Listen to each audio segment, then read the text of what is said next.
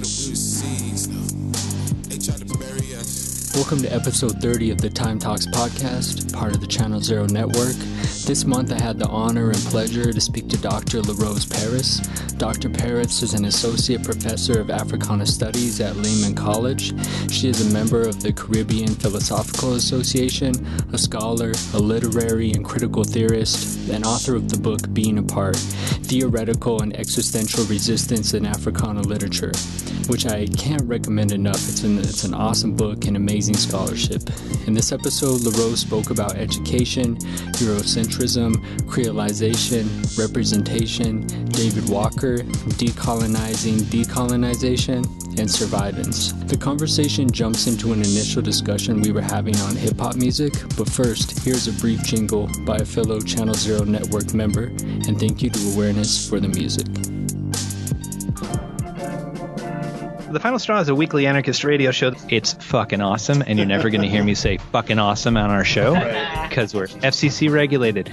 There's a, a black part of my heart that that just flutters when you when you talk like that. I, Talk, then more yelling. It's a weird sort of like nice thing in a way, but also can get kind of crushing at times. The Final Straw Radio.noblogs.org. I feel a lot of songs now are very autobiographical of, Yeah. themsel- of rappers talking about themselves, which is okay. But when you step out and story tell, I think it tells so much about you and history, and it serves a lot of information at once. I, I don't see that as much now. Well, that's the thing. They used to use the narrative format to really continue the oral tradition of maintaining the history, the suppressed history of black people. And that's why that's why hip hop is so important for that. And they're not doing it as much. They're just like you said, rhyming about their lives, and that's that's that has its own um, merits, but it's not to me as much a continuation of the oral history that we used to get from, for example, like you mentioned, KRS One. Like, I mean, his whole so much of his early catalog was just about Malcolm. You know what I mm-hmm. mean? And Yeah. Enemy and those they really that was for them. And I think part of it too is because I'm talking about a generation of rappers like me who were born in the in the civil rights Black Power era. And if you were born during that time and grew up in the 70s, of course that's what you're going to rap about. I mean, if you had parents who were in any at all in any way conscious and you know raising you to understand your history and your place in the world, that's why they that's why all of them rapped about that. That's why it was important for them to talk about Malcolm and the Panthers and you know fighting the power. You know what I mean? Like there's a whole different sensibility that I feel like these younger rappers, many of them are just removed from that history. So as much as they try, it's just not as immediate to them. You know what I mean? It seems like a distant past to them. Whereas for many of us who grew up during that time, it's is yes, it's the past, but we see the connections between that past and the present reality we're living in. You know, with the resurgence of um, literally white supremacy being sanitized, and it's always been normalized, but now it's really being sanitized. You know what I mm. mean? Yeah. And especially in terms of the violence against black people, it is when I think about this current administration and the fact that Biden is not more ahead in the polls than he is, it tells me clearly that so many white Americans are so comfortable and think it's perfectly fine to have an avowed white supremacist in the White House.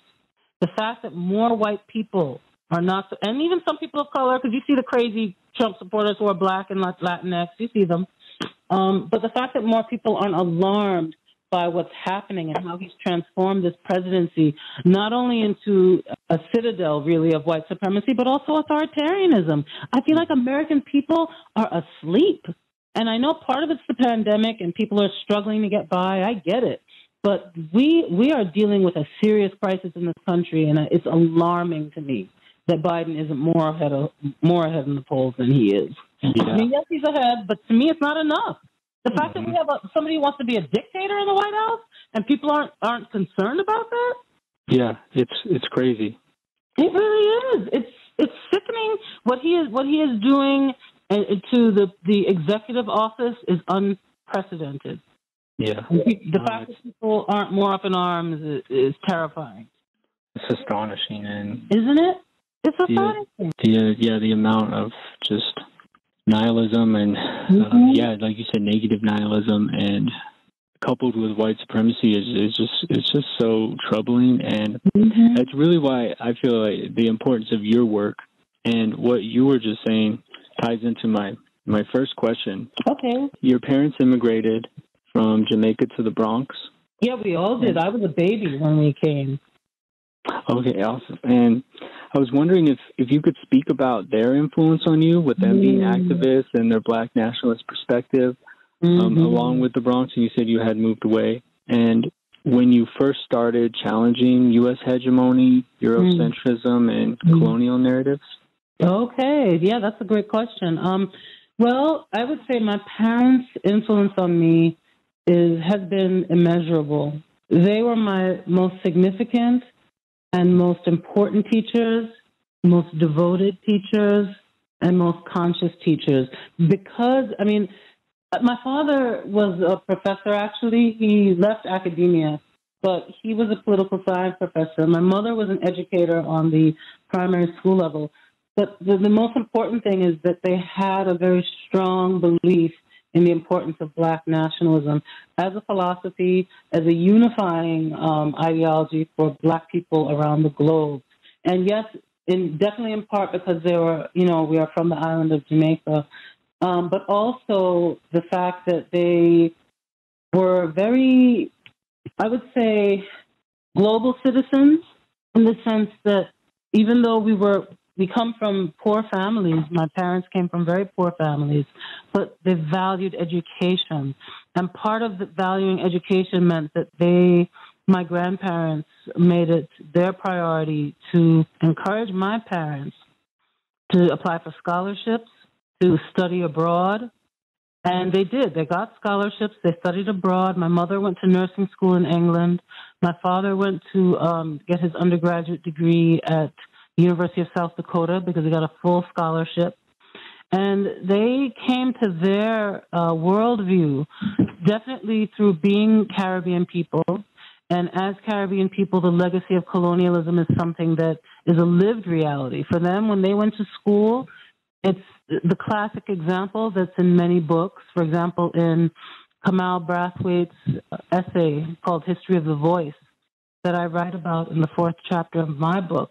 He talks about the colonial legacy and the imprint that's made on young children in under a colonial regime in the Anglophone Caribbean, uh, learning about, for example, the snowflakes on the hills, or reading, you know, uh, making identification with Shakespearean characters, and mm. learning about this foreign history that's been transplanted to their island environment and at the same time, the simultaneous degradation of local local history, local culture, Afro-Caribbean culture, not learning about, for example, the slave um, uprisings, the Maroon, the Maroon Wars, not learning about Nanny of the Maroons, not, who's a national hero now, but back in the my, my parents were in school in the 1940s was all about the colonial education and valorizing the, for example, the Tudor dynasty or the other, any of the royal houses of England.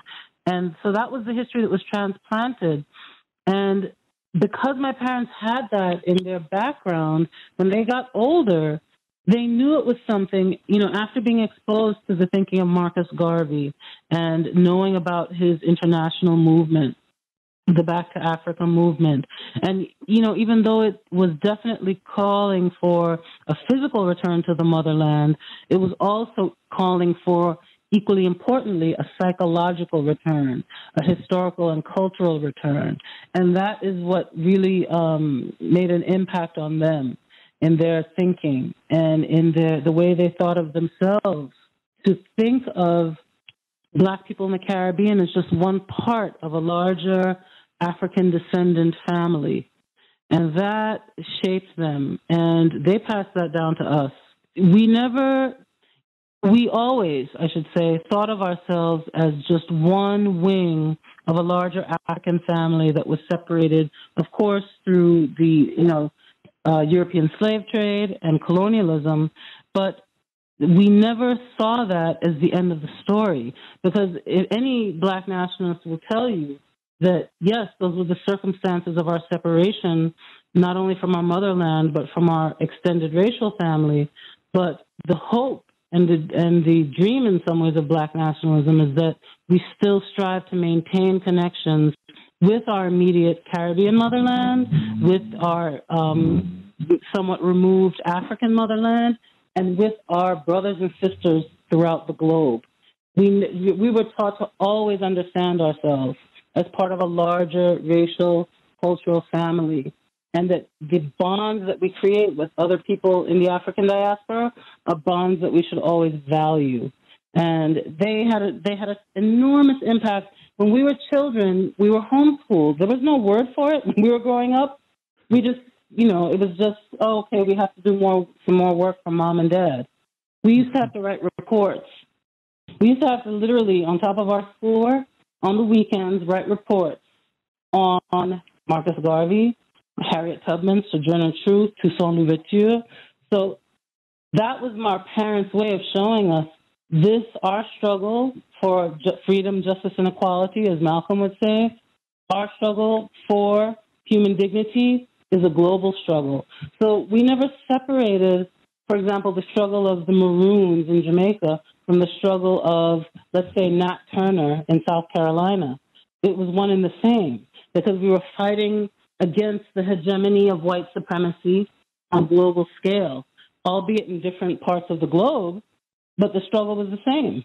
And uh, that's how our parents indoctrinated us to see that you know whoever we're studying about in our weekend lessons, um, for example, Toussaint Louverture and the Haitian Revolution, we saw that as the same the same force for liberation that in, that inspired Nat Turner, that inspired Gabriel Prosser and Denmark Vesey, that inspired Harriet Tubman. So we were at a young age taught about the global struggle of people of African descent, and we and it gave us such strength and pride because we didn't get that education in our in our public schools, um, especially once we moved to Long Island. We didn't get that education at all. So it gave us a strength. And I remember, um, for example, I was a very shy child when I was young, and more so when we moved to Long Island. And I, I became very shy and somewhat withdrawn. But whenever, let's say I had a classmate, um, she was, I think she was Irish American, her name was Cheryl Cosgrove. I'll never forget. It was in fifth grade, and she made some comment about how all black people love fried chicken and watermelon. You know, some stereotype, some stereotypical comment. And I said, "That's a stereotype, and that that's you're so ignorant, and it's not even true." I said something like that to her, and I'll never forget the look on her face because I was someone who was so shy and reserved. But when it came to matters of principle, or standing up for myself in terms if I felt that I was being discriminated against based on race, I had a strength, and that that came from my my parents and my upbringing. Mm. Because in other ways, I was you know I was just very quiet and studious, but if something came up and it was a you know a political issue, but you know veiled in in a in the form of a stereotype or an insult, I never let it slide, and that became that was part of what my parents did for me. They gave me that strength. And in some ways, I wasn't even aware I had it. But I knew that whenever something came up, I would stand up for myself. I would make I would make a statement, and that came from my parents. They had everything that I do. When I think about the work that I've done and the path I've chosen in academia, it's because of my parents, and I can never really thank them enough um, because they gave me a gift that really is priceless. And that is a sense of strength and a sense of identity. And, you know, the other, like I said, the other two teachers in the house in the, in the acknowledgments of my book were Bob Marley, because we li- played his music nonstop, and Malcolm X, because my father had all of Malcolm's speeches on vinyl. So I used to hear the, the voices of these men in particular, in this case, I mean, of course, there were women, you know, that I came to revere as well. But it, when I think of the immediate influences within the household, my mother, my father, and then Malcolm and Bob, because those were the voices that I heard reinforcing the messages that my parents gave me. Thank you for sharing that. And uh, speaking of, of Brathwaite, it sounds like the education they were giving you, the extra education, was really going counter to what Brathwaite was saying of the Caribbean education, which was, as you quoted him, uh, the language of the conquistador, and introducing Shakespeare and Jane Austen, which were these these colonized models, and people were forced to learn things that had no relevance to themselves. That's right. Countering that education. That's right. Because they because they got that colonial education and they knew the faults within it. They knew the faults within it because they they really understood and appreciated and wanted to propagate the message of Garvey, which also ran counter to the colonial model. So, because they were Garveyites in some senses, I mean, they didn't think he was a perfect man, but his message of black unity and self determination and knowledge of self and knowledge of black history resonated for them very, very strongly. And they knew in many ways that a black nationalist um, ideology would really counter, like you say, the effects of that colon- of the colonized mind. They did not want us to grow up with a colonized psychology because they knew, they recognized that that's how they were inculcated within the school system to have a colonial perspective, never to value themselves um, intrinsically as Afro Caribbean people, but instead consider themselves subjects, loyal subjects of the British Crown. And they recognized they recognized the flaws in that thinking, and they they didn't want us to have any of that. So absolutely, that you know, like Brathwaite, they wanted to run, uh, give us messages to counter that, so that we would have a strong sense of self, and that we, we would we wouldn't succumb. We wouldn't succumb to any sort of you know white supremacist thinking, because as you know well, you don't have to be white to support white supremacy. You know what I'm saying? I mean, the the example of these Trump supporters who are people of color, they're the perfect example. Thanks for thanks for sharing that story, and this this ties into uh, my next question, which is on Western philosophers. And to, to set up this question, I'd like to read a quote from Being Apart. Okay. And you, you, you write, in this regard, the Enlightenment writings of Hume, Kant, and Jefferson, and later Hegel, provided the formal discursive means to sanitize chattel slavery and perpetuate the capitalist exploitation of the enslaved. Mm-hmm. And as you know, Western philosophers, including John Locke, who was invested in the Royal African Company, wrote mm-hmm. the South Carolina Slave Constitution, uh, Voltaire, who blamed the slave trade on Africans, uh, mm-hmm. Kant, who had a racial hierarchy that, uh, as you mm-hmm. write, inspired Hume's footnote that you write about, mm-hmm. played into this horrific hegemony that, that is ongoing, as you were saying. Yeah. Um, I wanted to ask you about the tactic of creolization, which has mm. been beneficial to bringing out the good ideas of philosophers while also holding them accountable mm-hmm. and introducing critical philosophy. I was wondering if you could speak about this topic. And then also, I didn't want to put this into a binary, but the tactic of creolization on one hand, but also just the usefulness and the need of just rediscovering or centering solely uh, African Africana philosophers, indigenous philosophers, or women mm-hmm. philosophers on their own who have been hidden mm-hmm. from history. Mm-hmm.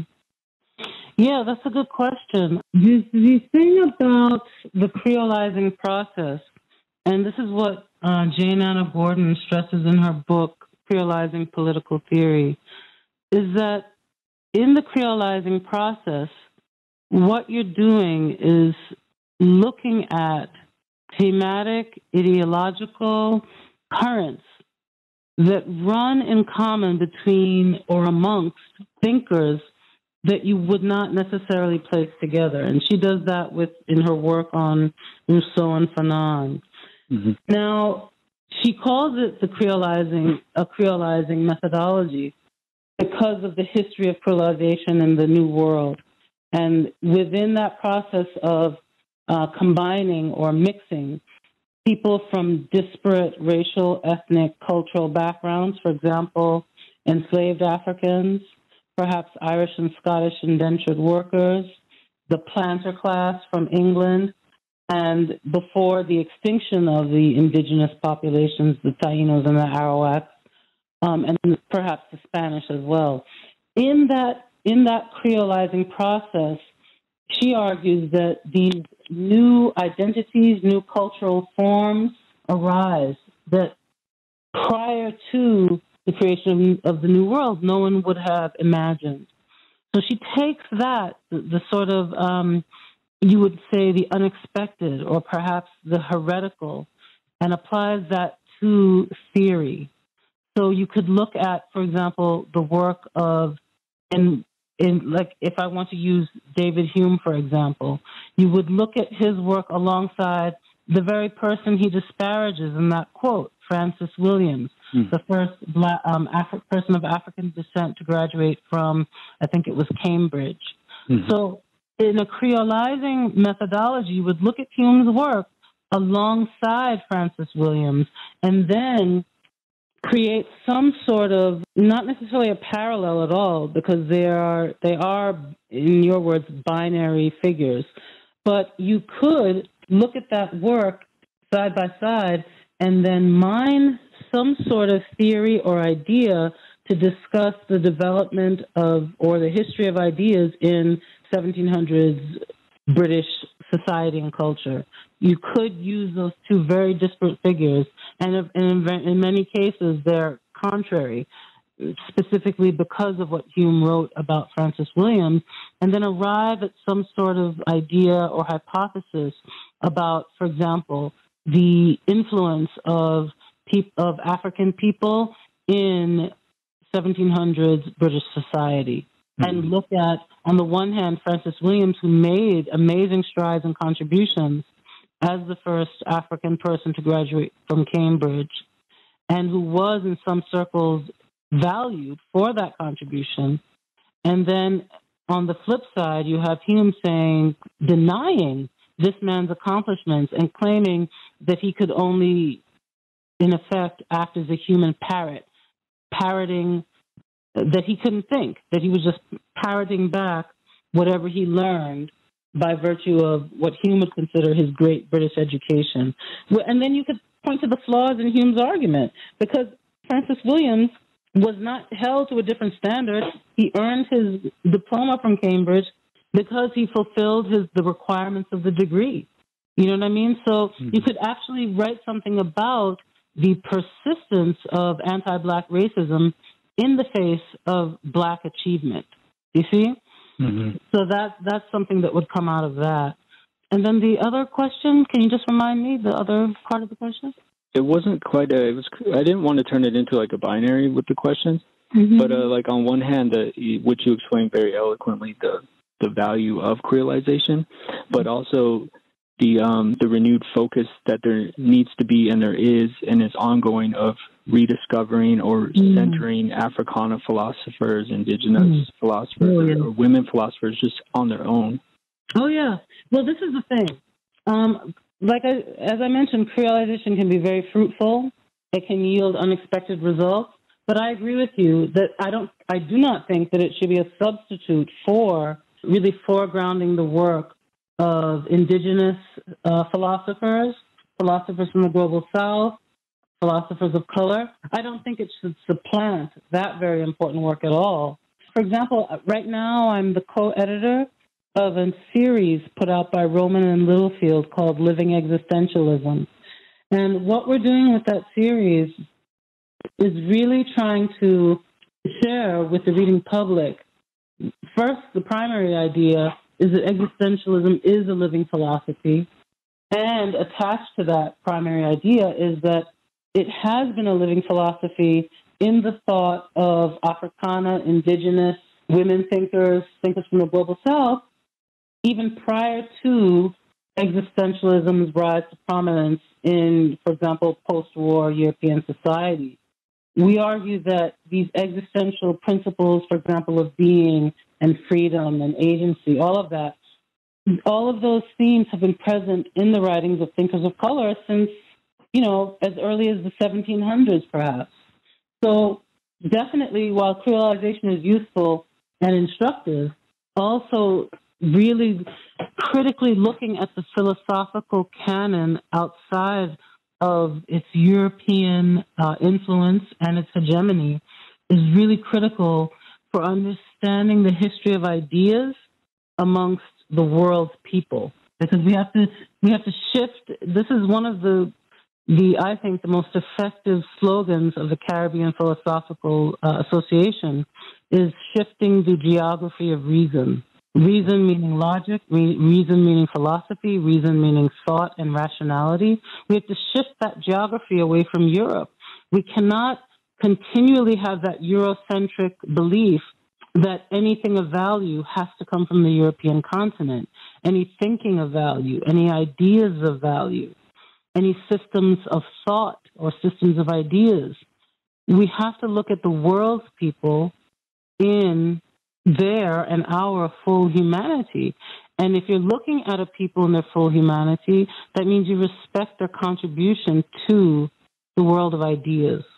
And that's why we have to under, that's why we, in CPA, the Caribbean Philosophical Association, and in my work as the co-editor for Living Existentialism, we continually strive to highlight and underscore the importance of respecting and valuing thought, you know, from all corners of the globe and from women from all people. And once you do that and you're open to that, then of course you say, well, the human experience is a complex one. And of course, people of other races have written about themes such as being and freedom and agency and responsibility. You know, once you once people are able to take off those blinders once they're able to look at the fallacy of Eurocentric thinking and also its li- inherent limitations, then they can really open themselves up to reading the works of great thinkers from, you know, all corners of the globe, especially people of color and women. You know, once you're really embracing the human experience and the humanity of people, if you move away from the narratives of dehumanization that have consistently and systematically labeled the work of people of color and women as inferior, then you're really opening yourself up to act, to real learning. Okay, because if we're talking about what learning is supposed to be and education, you know, coming from the word to edify, to improve, to make better, then ideas are made better when they're not restricted to coming from one source. When we value the the totality of the human experience in, in different forms and different thought systems from different areas of the globe, um, from people of color and from women, you then you're really opening yourself up to a tremendous amount of learning. Mm-hmm. A tremendous and, amount. And that's why I, I, I just want to honor the work that you do and that the CPA does, and it's, oh, it's very valuable. And I I appreciate it, and it's it's amazing work. And oh, thank you, Chris. I appreciate that. Yeah, thank you. And yeah, it's this this that that kind of ties into my next question. Mm-hmm. And in my last podcast episode, I spoke to uh, Brenda Child, mm-hmm. the Ojibwe scholar, and she had written an article about how Ken Burns, you know, the historian for PBS, yeah. consistent yeah, erasure of uh, mm-hmm. indigenous history. Even in mm-hmm. his 10 hour documentaries, he manages to not cover indigenous history. At um, all. Mm-hmm. Yeah. And you, you cite uh, that the PBS show, The Abolitionists, yeah. left out David Walker entirely. Shocked. And the movie Lincoln didn't mention Frederick Douglass or Tubman. And mm-hmm. uh, I was wondering, yeah, it had the whole focus on the hero was kind of Thaddeus Stevens, which is weird. Mm-hmm. And I was wondering if you could speak about the role of representation in the media with breaking down Eurocentrism and global white supremacy. Yes, and that's an excellent question. The problem, I think the main problem in terms of the lack of representation within the media and popular culture is that the people who create these projects that, that are so um, ubiquitous, like Lincoln, like these other projects, is that the advisors that they choose are specifically people who have no interest and no even maybe they don't even have the knowledge about the impact, the significance, for example, of Frederick Douglass Harriet Tubman and Sojourner Truth on Lincoln's eventual um, policy towards, you know, the enslaved African Americans. They choose people who are completely removed from that actual history. They choose consultants who are so wedded to the myth of the the omniscient white, in this case, politician, that it's not even within their it's not even within their capability to think of choosing someone who might bring an ounce of reality to Lincoln's political evolution. Like they, it's it's so far removed from what they would even consider because mm-hmm. a they don't know they're ignorant of them of it themselves in most cases, and then b if the knowledge came to them, they might disregard it because they're so they're so focused on whiteness and the white savior complex. Clearly, because that's what that movie Lincoln was about. Lincoln as the white savior. That if they came upon the information about Harriet Tubman's advisement of Lincoln, about Frederick Douglass's advisement of Lincoln, Sojourner Truth, if they came across it, they would say, well, who were they? They were just slaves. They couldn't have had any impact on this great white man's thinking. So the problem is twofold. The problem, on the one hand, is that they're ignorant of it. And then on the other hand, if they do get the information, they discount it, they dismiss it. And the representation is so very important on on several levels, but mainly it's important because we need accuracy. We need accuracy in these historical narratives.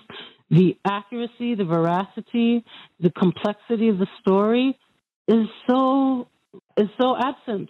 And mm-hmm. again, because these consultants are so wedded and indeed so devoted to the idea of this superior whiteness that they can't even conceive of, they can't even conceive of a man or like Frederick Douglass or women like Sojourner Truth and Harriet Tubman who had an influence on him. They can't even conceive that it is even worth mentioning or that it even had that their um, discourse and their dialogues with him were of any import. And mm-hmm. so what happens is in that because these films, you know, people take these Hollywood historical films as truth, as complete truth. And so then you have just the same recycling of the same false narratives over and over and over again, over and over again. So it's, yeah. it's a self-perpetuating cycle. Yeah, and, and like you mentioned, these are these are narratives like public narratives or public yeah. histories, even like statues and for people who don't have EBSCO or who don't who aren't scholars or educated in that way, this is this is their history, which forms exactly. this this ideology that's ongoing and very violent. Exactly, exactly, and it's sad because just like you're saying, if people don't have access to databases, I agree with you. It, it becomes highly problematic, but also the the larger impact of these films is that it just reinforces, in the case of mainstream American society, it reinforces that narrative, and then they think, well, I saw this movie, I got more information than I bargained for, but it's not different from what I already know. In anything, in any regard, it's just making me respect Lincoln even more, even though they're getting a very small slice of, of the real story about Lincoln they they consider themselves edified from having viewed a film that is completely lacking in accuracy. So mm. it just becomes a, a, a, perpetu- a self-perpetuating cycle, and that that's the problem. So then, yeah. So the problem with that's the problem is that the representation is non-existent, and then we're dealing with an American public that, for the most part, comes out of the public school system, where again that history is not taught. So it's just, you know, when I talk, when I think about the work I have to do as an educator and sort of, you know, decolonizing the minds of my students, the work that I have to do and that many of us do is so um, labor intensive because they're not getting the students are not getting any of this information. So when they get it, they're, they're the shock. Their immediate response is, "I can't believe I wasn't taught this." Mm-hmm. I can't believe I don't know this. So they first have to get over the shock and then they have to absorb the information. And then they start really questioning and thinking critically about the educational system, about the fact that when we talk about white supremacy, you know, when when they used to hear the words white supremacy, the only thing they would think of is the Ku Klux Klan. So, you know, in educating them, they, they have to come. They come to an appreciation that the Ku Klux Klan is just the tip of the iceberg. That white mm-hmm. supremacy is really woven within the society, culture, and politics of this country, and it's inextricable from the society, culture, and politics of this country because yeah. just on a basic level, they're not taught about the contributions of um, African Americans, people of color, women, and even when they're taught about the, the narrative about, for example, the suffragist movement, completely whitewashed. Never, never. They didn't learn anything. My students didn't even know Sojourner Truth's name. They didn't know her name. They didn't know who she was. Because all of, again, the educational system, Elizabeth Cady Stanton, Susan B. Anthony, those, that's all they learn about. And they don't learn about the racism within first wave feminism. That many of those women, for example, Elizabeth Cady Stanton, publicly declared that she will cut off her, this right arm of mine if the Negro gets the vote and not the woman. Okay, like they're not learning the the in, any sort of intersectional analysis of American history. Of course, they're not.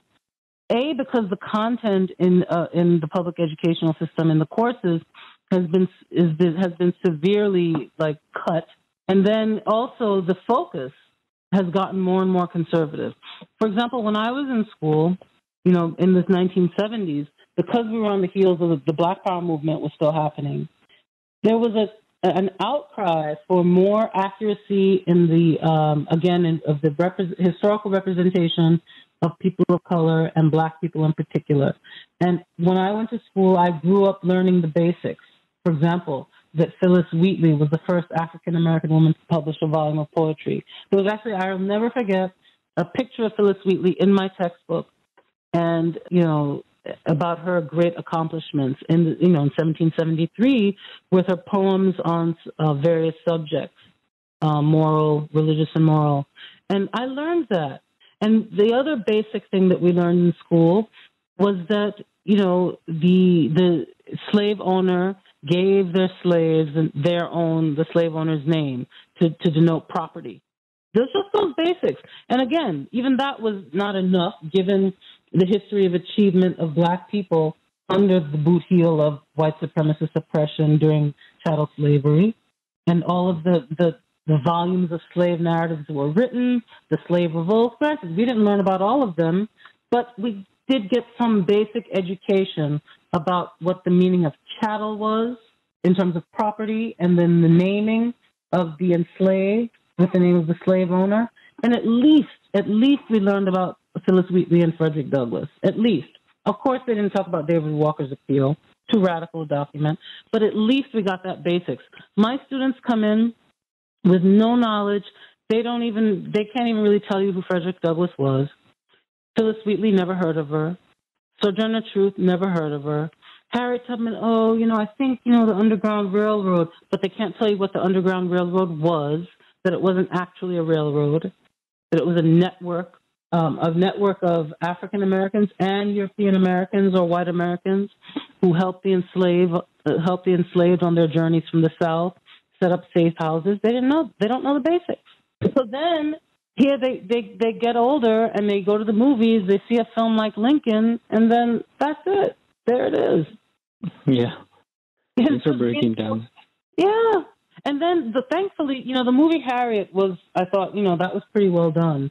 Um, and I can't remember if there was a scene with her and Lincoln. I don't think there was. It was William Lloyd. It was a abolitionist gathering. Oh, William Garrison. Lloyd Garrison. Yeah. Mm. So even that, that they, you know, they should have included a scene with you know Lincoln, you know, getting counsel counsel from Frederick Douglass and from Harriet Tubman because that's what he he did, in fact, get counsel from them.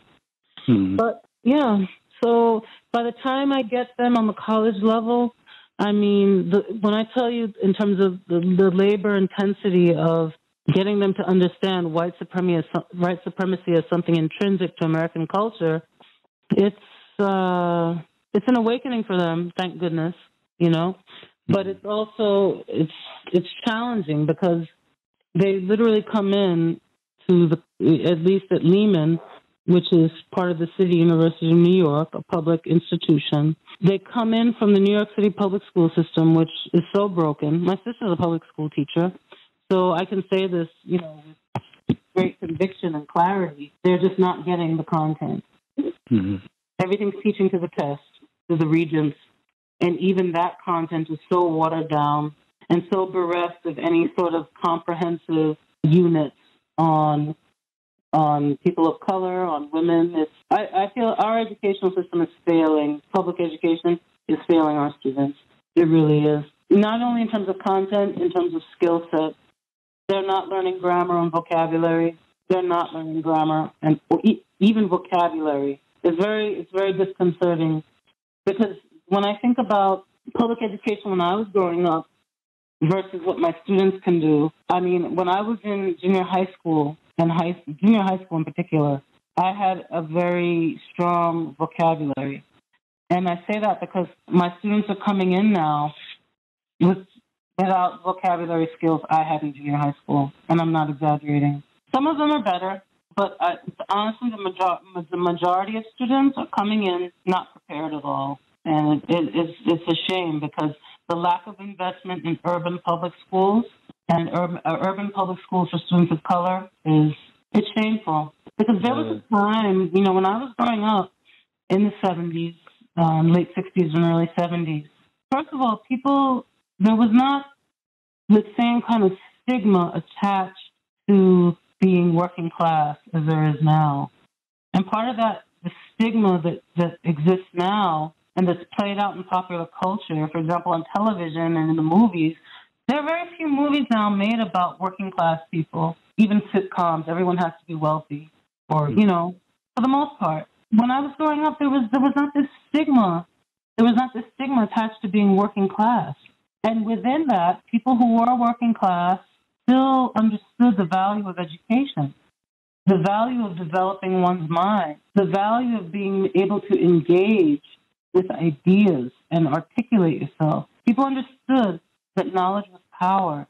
Now, with neoliberal capitalism and the rise of all, you know, the million, the, millionaire, the, the young millionaire in the entertainment industry, Young people don't value education the way they used to. They don't value it.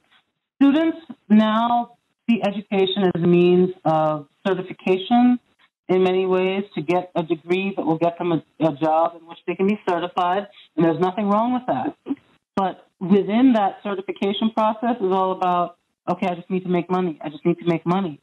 And part of that is fueled by neoliberal capitalism because of the, again, the, the expanding gulf between the rich and the poor, that making a living is, is paramount in their minds above all else because they're coming from, they're mired in a system that has been keeping them and their families in poverty. Yeah, and it's just been expanding since the 70s. This exactly. inequality. Exactly.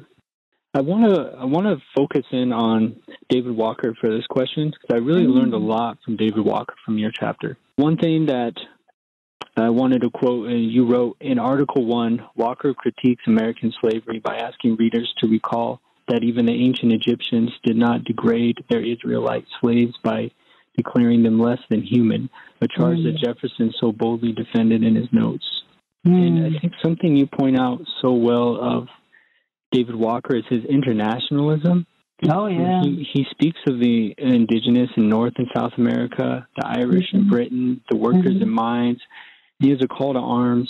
He inspired Nat Turner's rebellion, mm-hmm. and he even called for the entire emancipation of uh, enslaved brethren all over the world. Yeah. So I was wondering if you could break open David Walker more, uh, what mm-hmm. that documentary really missed by leaving him out, and just his yeah. calls for collective liberation.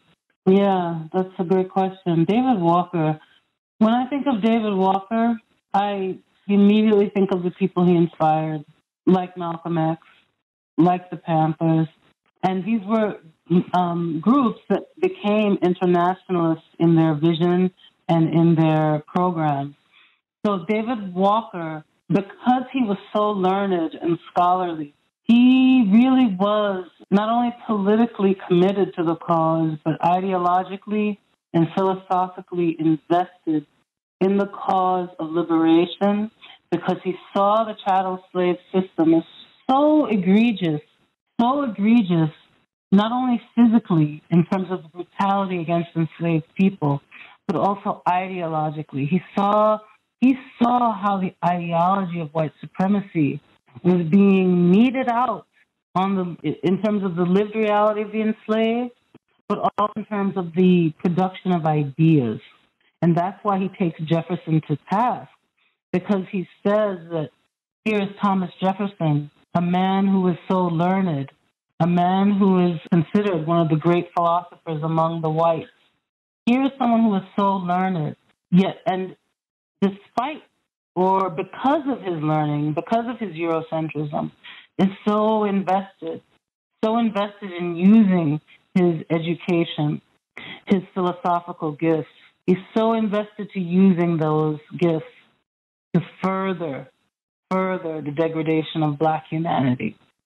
So he, when David Walker sees how white supremacy is being played out on the physical plane in terms of the plantation and the brutality, and then he also sees white supremacy being bolstered by people like Jefferson, thinkers who write books specifically devoted to furthering the cause of Euro American hegemony, furthering the cause of black oppression. So he's reacting on two levels. He's re- reacting on the level of discourse, and he's reacting on the level of the, of, of the material, the lived reality. So that was that's what makes him so powerful, is that he sees that the slavery system is creating in the, the rationalization of black oppression globally and in terms of the physical bonds of slavery and then the exchange of ideas, the discourse. So that's what makes Dave, that's what makes David Walker so so very important. Is that I think he understood that if slavery was not abolished and overcome, that we would be living the reality we are right now. Because in the in the appeal, he constantly and consistently uses italics and exclamation points because he's so indignant, is righteously indignant about the fact that the brutality that white people have decided to create this, use to create the system of chattel slavery, that the brutality of it, that the wanton murder and torture and rape of, of, of, of, of slave women in particular, that this brutality is what lines their pockets with gold. He says that. In the appeal, he, he says very straightforwardly that they, their avarice, that the white uh, plantation owners' avarice, their lust for wealth, that all of that is, is, is used to brutalize and to deny the humanity of a group of people that, that at its heart it's evil. And he cites the Bible. You know, he cites the Bible to prove his point. He cites the Bible. He cites these texts. You know, these different works of ancient hist- historiography about different slave systems, and based on that, decides that we, the colored people of the United States, are the most abject, most degraded, most pitiful creatures on the earth. And he says the United States because that's his frame of reference. But he really talks throughout the appeal of enslaved black people throughout the Americas as well. And David Walker, this is another thing that's very important, is that David Walker and um, Denmark Vesey were very much aware of the Haitian Revolution, and they they understood Haiti as to be a shining example in the Americas of what could be accomplished through Black unity and using Black unity to overthrow the shackles of, of slavery. So they saw Haiti as a shining example, and they also understood Haiti to be to be issuing sort of a, a, a clarion call to enslaved people in the United States.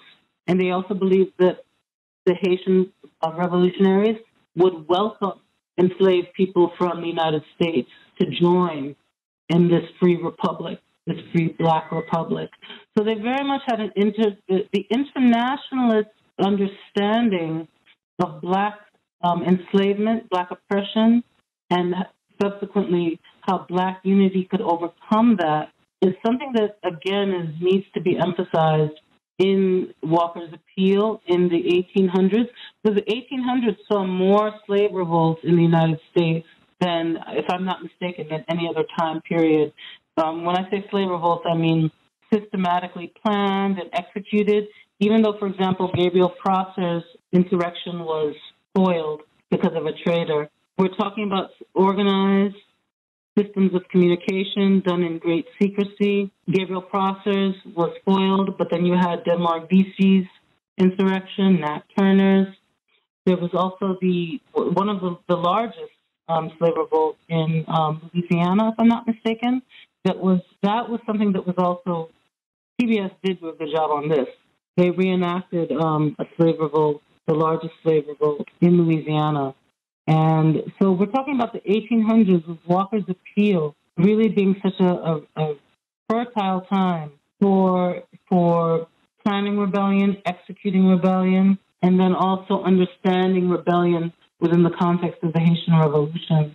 You know, this is, I mean, when we think about how the ancestors were able to pull all of this off before social media, before the internet, before the telephone, it really has to impress upon people the natural human inclination towards freedom from bondage and the sophisticated networks of communication that they had to use.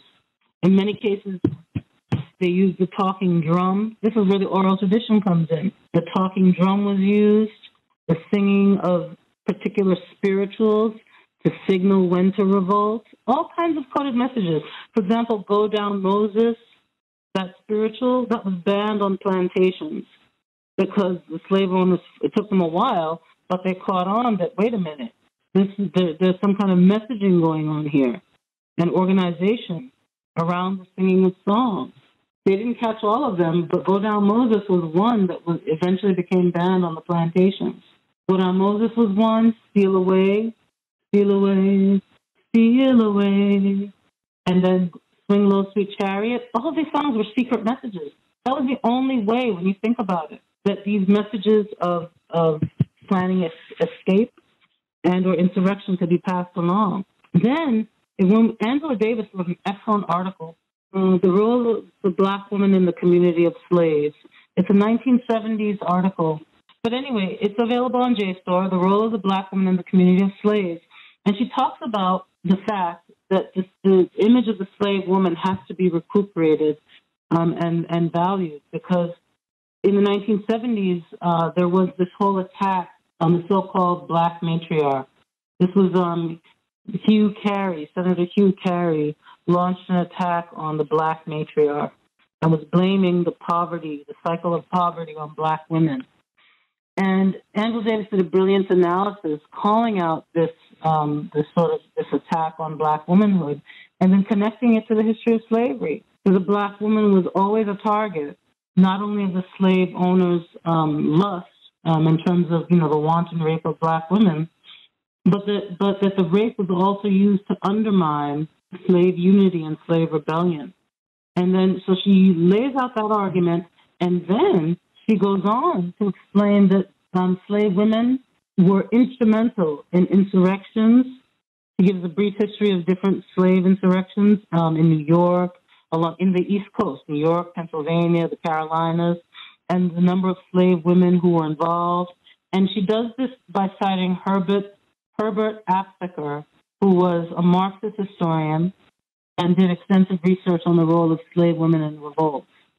So I say all of this because Walker, when we think about Walker in the 1800s, he's very emblematic of the rise in incidents of slave revolts that took place in this country or, you know, in the aftermath of the Haitian Revolution. You know, he's emblematic of that.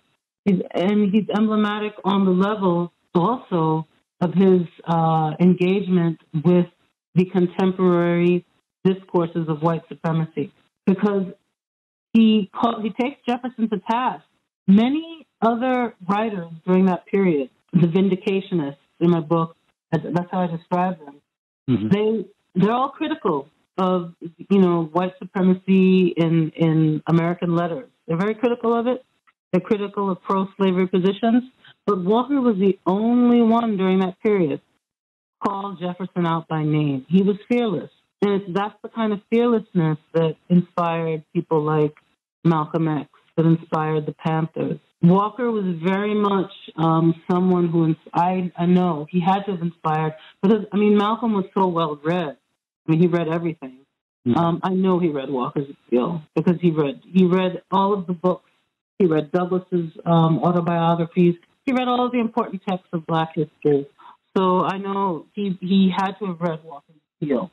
But it's that same sort of righteous indignation that how dare you how dare you? How dare you on so many levels not only dehumanize us and degrade us, brutalize us, but then use all of that, all of those evil acts to line your pockets with wealth. It's like it's like adding insult to injury.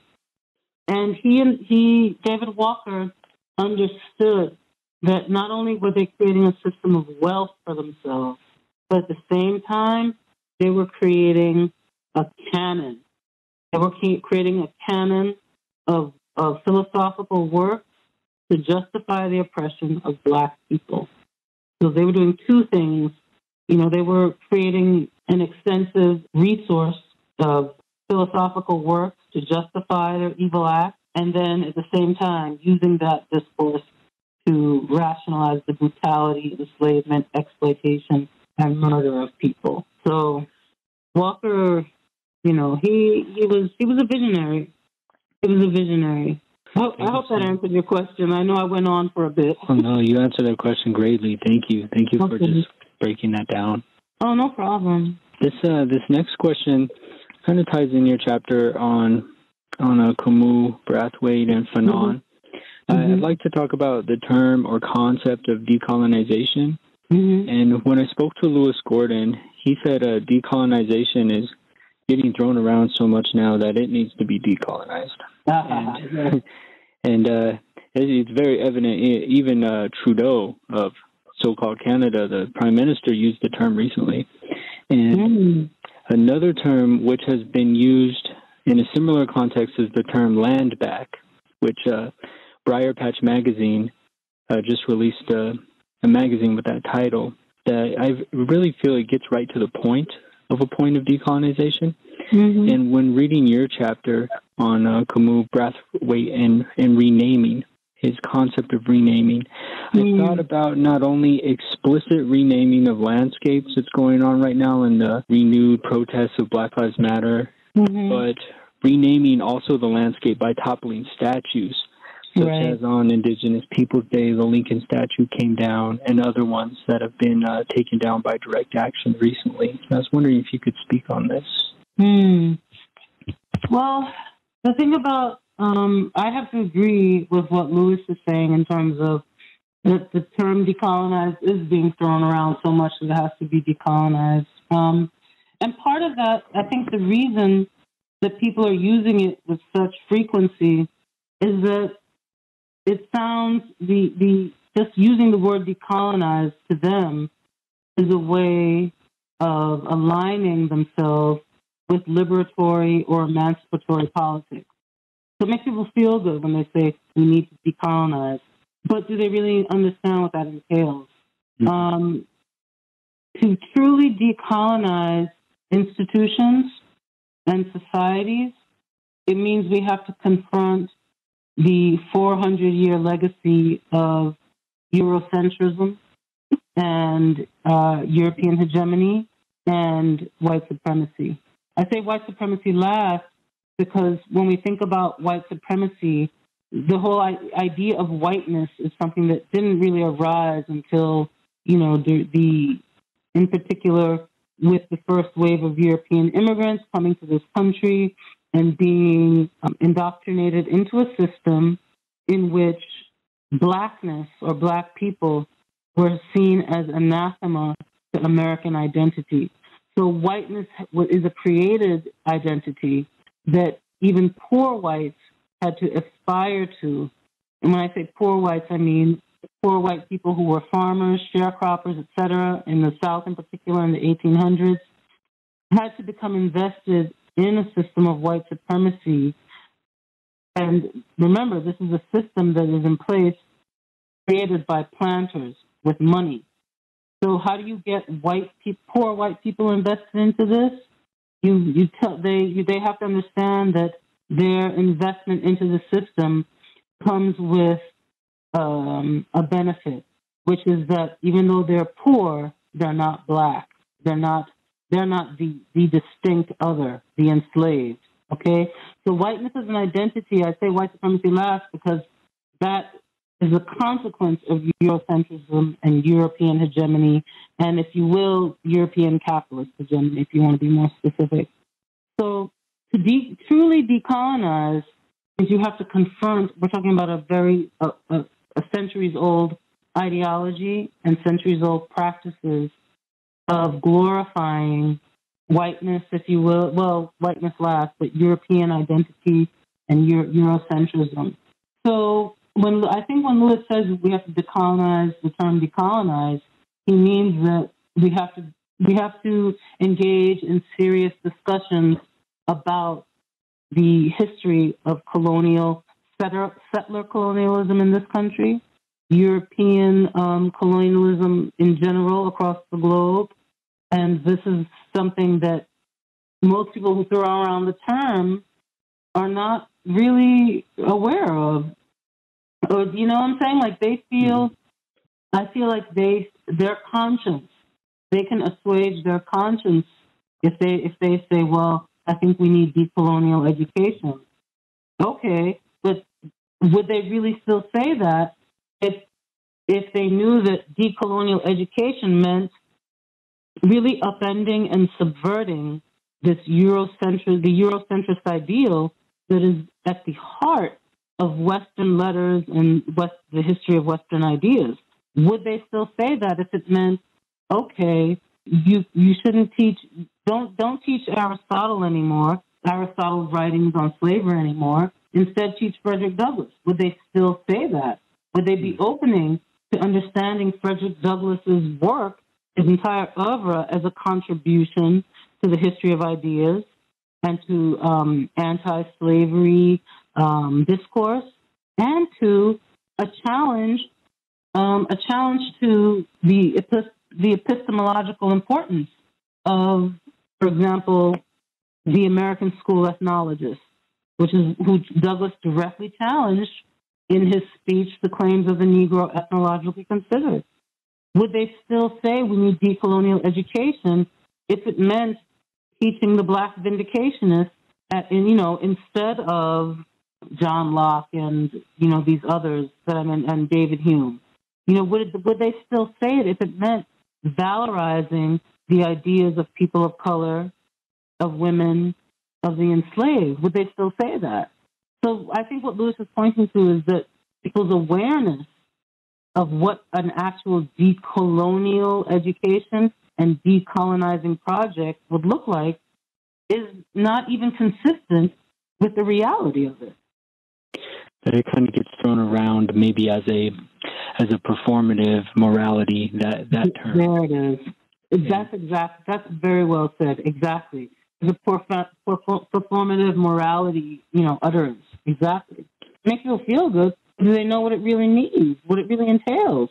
It's a lot of a lot of responsibility behind that word to mean it truly. A lot of responsibility behind it, and really completely changing and exposing people to the ways in which they've been taught um, that are so um, that are dangerous, that are fallacious, and it's really, really a way of a true decolonial education would completely upend the way we understand the history of ideas and the history of Western societies. It would upend it. And are people ready for that? I, I mean, I, I believe that some people are, but I think most a lot of people who throw, throw around the term would be shocked at their mm-hmm. own level of ignorance. Yeah, even if they would be able to um, be honest about the etymology of philosophy being um, not a Greek word, but, but to a Hittite word and it, like a Kemetic word when it goes back, even if they'd be able to accept that. Exactly. See, you just hit the nail on the head. That's exactly what I'm talking about.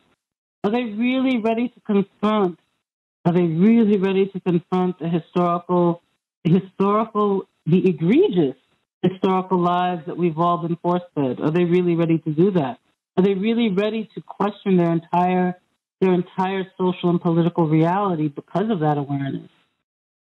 Thank you for breaking that open. No, no problem. I think one thing you've really been talking about, I'm going to quote you here with the the ideological structures of colonialism. Indeed, colonialism's very survival demands a complete eradication of native culture, history, citizenship, and language, and the replacement of these with European systems of culture, history, citizenship, and language. Mm-hmm. And I think you've you've really been speaking to this, like when you were talking about the spirituals and how those were banned.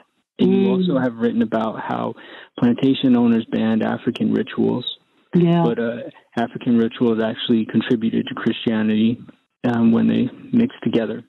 But these rituals were banned. Mm-hmm. And um, then you look at indigenous boarding schools were doing the same thing. Mm-hmm. And then in the 1920s, the U.S. banned indigenous dances. Mm-hmm. And now we see this ongoing to children being imprisoned on the border, to That's mass right. hysterectomies by ICE, That's to right. even just something still very violent, just this Eurocentric curriculums that you're talking about. Mm-hmm. Mm-hmm. And I was wondering if you could speak on this this legacy of this, but also on the other end, like the sur- the survivance, the survival and resistance of this, and Mm. maybe organizations, movements, or trends you're seeing right now that are fighting to break these structures. Mm, that's a good question. Um, yeah, the thing is, is that when we think about how pernicious these white supremacist practices are, we definitely have to see them in a historical context. Because when we talk about the sterilization of women in the detention centers, all of that, all of those those brutal practices are, you know, just another form of eugenics. And this is they these eugenics practices date back, uh, you know, to the 1800s at least.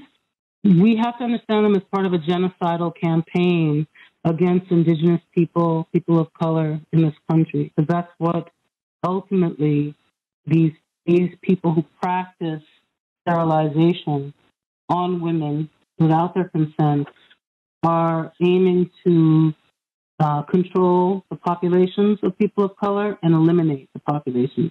They're contributing to a uh, plan, a genocidal plan that would eliminate our numbers from the population.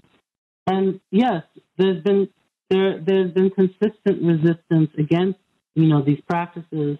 The problem though is that when in these ICE centers in particular, when we talk about what's been happening lately, is that the women are anesthetized. They go in for a simple procedure, perhaps, and they get anesthetized, and then the doctors, that's when they, you know, go forward with their plan to sterilize them. So if a woman in a detention center, for example, needs an appendectomy, she needs her appendix taken out because she's maybe the appendix has ruptured or she's in extreme pain, and the appendix, you know, is an organ that's not really necessary. She has to get it removed. So during that procedure, she's she's put under anesthesia, and then that's it. With with that, she loses the she's lost the ability to advocate for herself because she's unconscious. So whoever, when we think about the the directives um, and the instructions being the instructions being followed at these detention centers, these come from the high up. They come from the from the White House. They come from the you know we're talking about the federal government is aware of these practices and they've sanctioned them. So yeah, they're definitely we have to understand them as part of a genocidal campaign to eliminate our numbers. In the same way that we have to understand um, the, the the wanton police murders of unarmed Black people and Latinx people, also within a program of genocide. We have to we have to see them that way because no, first of all, these are state sanctioned killings There's little to no accountability. The police officers involved are they are not they are not murdering unarmed white people by any stretch of the imagination. You know, there was a clip on the news the other day when uh, I think it was on MSNBC, and um, I think it was Ari Melber's show, The Beat. Uh, he was just juxtaposing the arrest of Daniel Prude in Rochester, an African American man who died in police custody, was brutalized and suffocated, mentally ill man. The family called to get help because he was, you know, erratic. His behavior was erratic, and he was killed. The police killed him. Um, Ari Melber juxtaposed those images of Daniel Prude being brutalized by the police, suffocated with a plastic bag, to the image um, and the news footage of a white man who was mentally ill. Um, and the police, you know, the police let him run around. He was running around naked. They let him run around. They let him scream and carry on. They were laughing at him, thinking it was amusing. And he he randomly um, he just started beating up an, an innocent bystander, a, a black man who was an innocent bystander, beating up the black man, and they did nothing to stop him.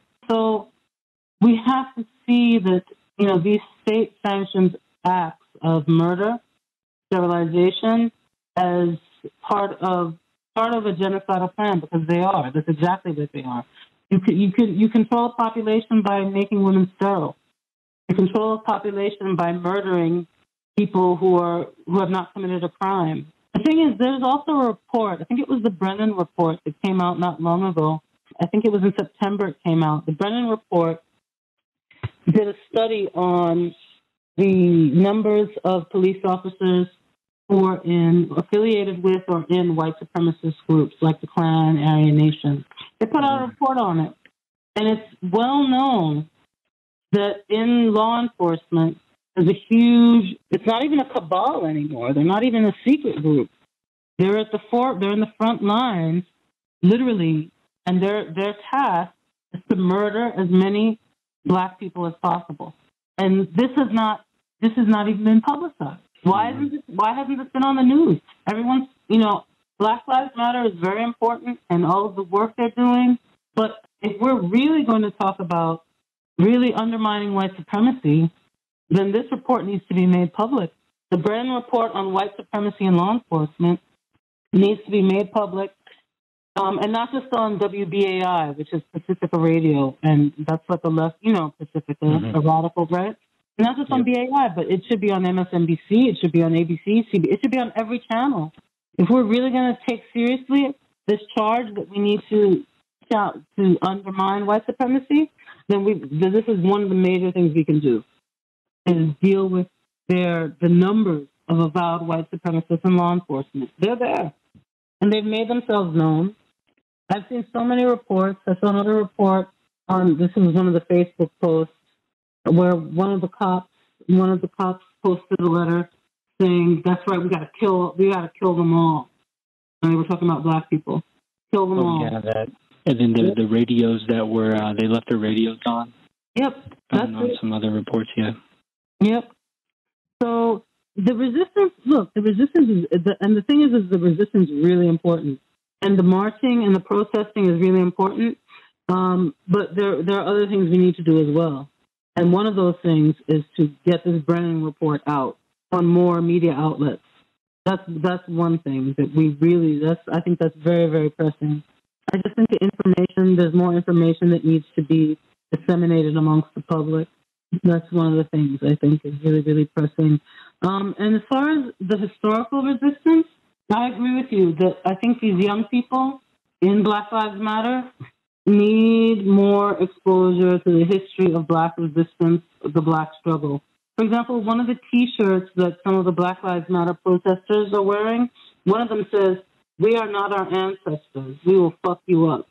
You know, the implication is there that the ancestors didn't didn't do it didn't resist with didn't resist with um, self defense or didn't mm-hmm. resist with weapons, didn't resist with with um, you know violent means, and that's that's just not the case.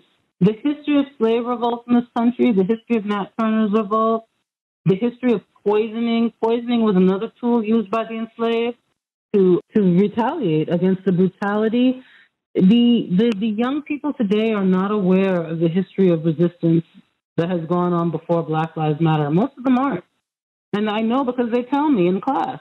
They assume, and this is the faulty reasoning, and they're not completely to blame. Part of it's the educational system that we just talked about. But some of it's the faulty reasoning that, oh, we're still fighting this battle because our ancestors couldn't hack it. That's the subtext of that t shirt. We are not our ancestors, we'll fuck you up. The subtext is that the ancestors were passive and that, oh, we're still doing this, we're still fighting these struggles because they couldn't beat it. And that's the ignorance. When we talk about when we talk about the, the common everyday logic the culture, the politics, when we talk about the fact that everything in the United States and in many Western cultures, cultures is built upon the logics of black oppression, black subjugation, and black dehumanization. For, and we're talking about a four centuries long project. They don't understand the enormity of that. They don't understand that it's built, With, it's literally it's literally woven into every strand of society, culture, and politics, and that undermining and overturning and subverting that kind of system is a lifelong project. We're talking about the entire modern world um, in terms of you know West, the Euro modern world, as Lewis likes to call it, built on, literally built on the radical dehumanization, the criminalization, the demonization of black people. So undoing that is not a one generation project. It's not a two generation project. It is a centuries long project. We are still fighting because that which we are fighting is, when we talk about hegemony, hegemonic in the sense that it's part of the, the logic and, and general understanding of what this American culture is. The reason more white people are are not against Trump is because they really do believe that someone like Breonna Taylor, who's asleep in her own house, deserved to die. They don't under they they can rationalize and justify an innocent woman be, who was an essential worker, no less, a paramedic, being asleep in her own house and being her home being invaded by cops with a no-knock warrant and being killed in her sleep. They can they can justify that because everything in the American culture, everything in the American culture verifies that black people are inherently criminal and she had to have been doing something wrong. If she didn't do something wrong, oh well, she's just dead. It's just a mistake. It doesn't matter because our lives have been systematically devalued for centuries, that people are desensitized, completely desensitized to the suffering of black people. They think the system can't be wrong, so we must be wrong. And Lewis talks about this in, when he talks about theodicy, you know, that black people are presented as a problem in this system because the system is valorized to the point that it can't be wrong. That we have to be the ones at fault. Even when we're innocent, we're at fault. Thank you for breaking that down and, and tying in this this legacy of, of white supremacy, but also this legacy of resistance and survival and uh, it just agency of the whole the whole narrative of this discussion. So thank you for that. No problem. Thank you for tuning into this episode of the Time Talks podcast, part of the Channel Zero Network. I want to thank Dr. LaRose Parris for taking the time to speak to me and share her knowledge, stories, scholarship, and experiences. Please support her work and get her book Being Apart. Thank you to Awareness for the music. Please share the show, support it on Patreon, and thank you all for the support.